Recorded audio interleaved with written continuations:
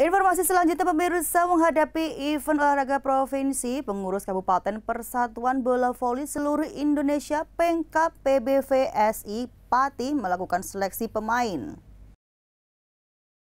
Cabang olahraga bola voli Pantai Kabupaten Pati hari ini mulai menyaring pemain untuk masuk tim inti bola voli Pasir Prapor Prof 2021. Seleksi untuk pembentukan tim inti ini berlangsung di lapangan bola voli pasir Desa Mojo Agung, Kecamatan Trangkil selama tiga hari mulai hari ini.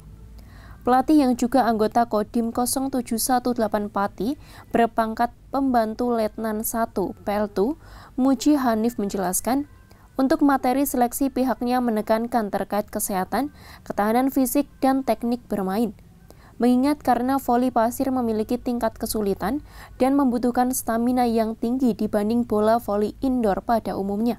Peltu Muji Hanif menambahkan, ada 30 pasang putra dan 5 pasang putri yang mengikuti seleksi pemain pembentukan tim bola voli pasir Kabupaten Pati untuk menghadapi event Prapor Prof 2021. Kami menjaring ini ada eh, 30 pasang putra dan 5 pasang putri. Ya. Untuk Praporpov dari Kabupaten Pati jatahnya cuma satu pasang putra dan satu pasang putri hmm. untuk melaksanakan pra untuk mengikuti Praporpov nanti.